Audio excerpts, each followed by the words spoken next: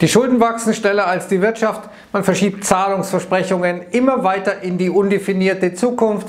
Die Aktienmärkte handeln gleichwohl auf Allzeithochs. Vermögenspreise sind gestiegen. Wir haben Wohlstand und schaffen dabei überall Zombies, meine Damen und Herren. Und damit herzlich willkommen in der neuen Woche. Was meine ich damit? Ich will mal ein kurzes Schlaglicht werfen auf das, was vielleicht derzeit der Fall ist, was seit Jahren der Fall ist, was Trends sind, was eigentlich mit unserer Wirtschaft, mit unserem Wohlstand los ist. Und starten wir mal mit dieser Meldung hier aus Fokus.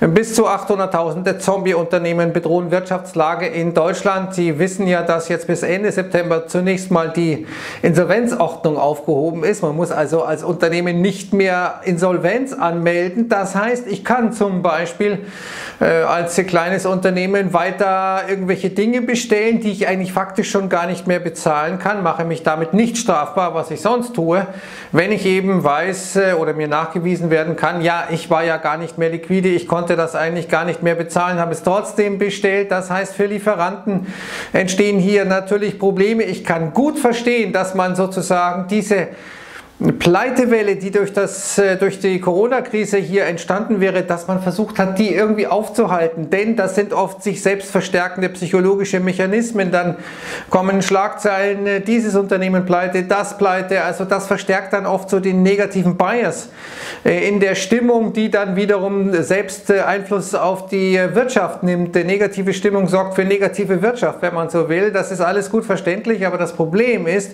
dass wir eben jetzt unsere Probleme immer immer weiter in die Zukunft verschieben. Irgendwann muss man dann wieder dieses Grundprinzip der kapitalistischen Wirtschaftsordnung, nämlich das Scheitern von Unternehmen anerkennen, muss es wieder als Regel gültig machen und dann hat man wahrscheinlich eine Lawine von Unternehmen, die äh, gleichzeitig über den Jordan gehen und dann ist das sozusagen nur aufgeschoben, aber nicht aufgehoben. Es kommt dann geballt. Es ist so ein bisschen wie im menschlichen insgesamt. Wenn man Probleme immer weiter in die Zukunft verschiebt, dann werden sie, wenn sie plötzlich akut werden, riesig und kaum bewältigbar.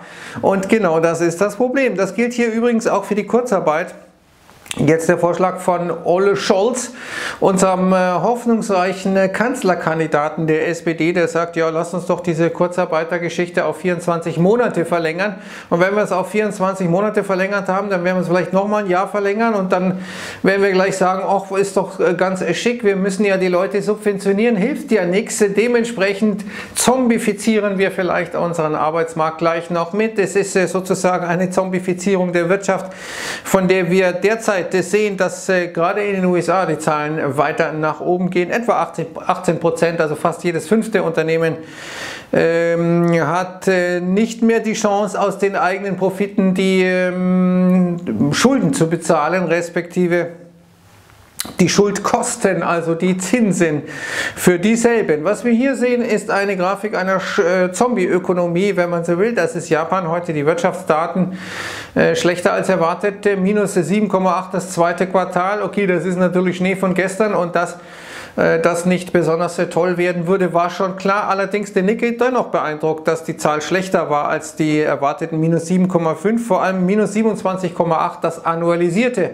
BIP-Wachstum oder genauer gesagt die BIP-Schrumpfung in den USA, also äh, in Japan. Wir sehen also, was da los ist. Äh, heute, nicht ganz heute, sondern am Samstag vor 49 Jahren ist Bretton Woods aufgehoben worden, also praktisch die Bindung des Dollars an Gold und man kann sagen, seitdem ist irgendwie natürlich ähm, eine Ausweitung der Geldmenge, Ausweitung von Kreditsystemen, Ausweitung von äh, Assetblasen, letztendlich die Tür geöffnet äh, worden, wenn man so will. Es gab gute Gründe, diesen Goldstandard aufzuheben, weil schlichtweg zu wenig Gold da war. Allerdings äh, war Nixon auch in einer schwierigen Situation, weil das Gold eben nicht da war, das manche, zum Beispiel die Franzosen, eingefordert hatten. Man konnte also dieses Versprechen gar nicht halten und hat dann gesagt, ja gut, dann gilt das Versprechen nicht mehr. Äh, seitdem, wie gesagt, äh, tendieren äh, die Wirtschaftssysteme hin zur Eskalation hin zur absoluten Ausweitung äh, von Übertreibungen. Und jetzt kommt äh, ein anderes System, nämlich das chinesische. Hier sehen wir Xi Jinping und der sagt, ja, der Marxismus ist sozusagen die Grundlage für das Wachstum unserer Gesellschaft. Naja, jetzt haben wir auf der einen Seite ein scheinbar marxistisches Modell, was das mit Marxismus zu tun hat in China, das muss man mir vielleicht nochmal erklären. Aber sei es drum, jedenfalls hat der Marxismus ja schon glorreich gezeigt, wie erfolgreich ist. Er ist ökonomisch äh, in der Realität. Jedenfalls äh, ist jetzt die Alternative offenkundig ein ähm, kapitalistisch-marxistisches System, wie auch immer man es bezeichnen will, aus China und auf der anderen Seite der Westen, der im Prinzip jeden Schmerz immer wieder äh, in die Zukunft verschiebt, Zahlungsversprechen in die Zukunft verschiebt, letztendlich die Probleme in die Zukunft verschiebt, nur um jetzt den Schmerz eben nicht in Kauf nehmen zu müssen. Aber nur wenn ich Schmerz in Kauf nehme, dann merke ich, ich äh, muss was ändern, es tut weh, ich muss mich irgendwie verändern, ich muss etwas ändern und genau das passiert nicht, sondern man verschiebt es eben immer weiter und das wird Probleme in der Zukunft bringen, auch wenn es natürlich in der Gegenwart ein bisschen bequem ist. Verschieben ist auch das richtige ein Schlagwort für das, was eigentlich jetzt an diesem Wochenende stattfinden sollte, nämlich ein ähm, Treffen oder eine Videokonferenz zwischen den USA und China, äh, wo es eigentlich ja um den Handelsdeal gehen wollte, aber offenkundig hat man äh, nicht so richtig Lust darüber zu sprechen, denn eins ist klar, die Chinesen kaufen nach wie vor zu wenig. Jetzt sagt man, okay, vielleicht geben wir ihnen ein bisschen Zeit, dass sie da mal ein bisschen mehr Gas geben. Wir dürften in diesem Jahr, egal was die Chinesen jetzt noch machen, denn die Zeit läuft ja ab, in diesem Jahr äh, deutlich unter den Käufen sein des letzten Jahres. Eigentlich sollte sich die ganze Geschichte ja mehr als verdoppeln, da sind wir weit entfernt von. Jetzt hat China noch eine kleine Preisseite gegeben, nämlich die chinesische Notenbank hat gesagt, das was die FED da macht, das ist die Basis für eine neue Finanzkrise und sie haben sogar damit recht, vielleicht aus der falschen Motivation, aber es stimmt leider. Denn äh, hier sehen wir eben eine absolute, ähm, ja, die Aufhebung aller letztlich äh, gesunden Prinzipien, wenn man so will. Klar, man will retten, man will den Schmerz vermeiden, man will nicht, dass Massenarbeitslosigkeit entsteht. Alles richtig, alles gut. Nur die Frage ist, was passiert dann, wenn wir aus dieser Politik mal raus müssen? Oder äh, kann man aus dieser Politik gar nicht mehr raus? Dann können wir aber nicht mehr von einem Markt sprechen, können wir nicht mehr von Märkten sprechen, können wir eigentlich nicht mehr von Kapitalismus sprechen, sondern dann haben wir vielleicht eine kapitalistische Planwirtschaft oder so ähnlich, eine Notenbank.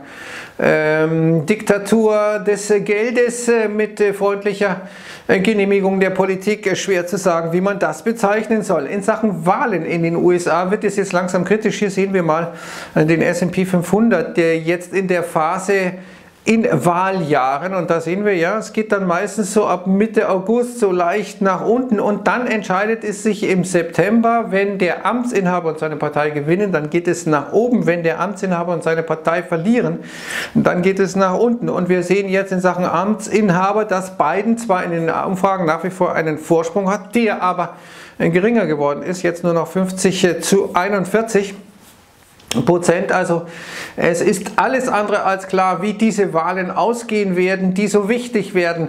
Äh, psychologisch äh, vor allem wichtig, äh, wie wird weiter dann die Welt regiert werden im Sinne von Trump mit Zöllen, mit all den Dingen, die wir aus den 1930er Jahren kennen und ähm, in ihrer Wirkung einschätzen lernten. Oder wird es zumindest den Versuch geben, die äh, Dinge ein bisschen anders zu machen. Biden ist sicherlich ein schwacher Kandidat, das ähm, wird hier in den Umfragen auch klar. Die meisten wählen, wenn sie denn für, Biden äh, stimmen, äh, werden ihn nicht wählen, weil sie ihn so toll finden, sondern weil sie Trump loswerden wollen. Also auch das ist sozusagen hier eine Geschichte, dass wir letztendlich auch keine überzeugende Figur haben, die derzeit irgendwo ein Modell anbieten kann, das zukunftsträchtig scheint. Sei es drum. Hauptsache, wir haben die Wohlstandsillusion und fühlen uns wohl und sind gut gelaunt an diesem wunderbaren Montag in, in diesem Sommer, meine Damen und Herren. Das ein bisschen sommerlochig ist, die Aktienmärkte seitwärts, wenig Impulse. Mal sehen, ob jetzt äh, etwas äh, passiert, äh, ob ein bisschen Schwung in die Geschichte reinkommt. Ich wünsche jetzt erstmal einen wunderbaren Start in diesen Tag und sage Servus und Ciao.